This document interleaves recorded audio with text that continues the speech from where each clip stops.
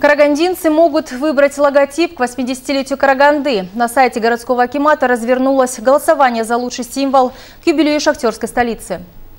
Конкурс на лучший логотип, наиболее выразительно раскрывающий образ Караганды, его историю, достижения и успехи, прошел накануне. В итоге были выбраны три наиболее интересных проекта. Финальный же выбор предстоит сделать горожанам.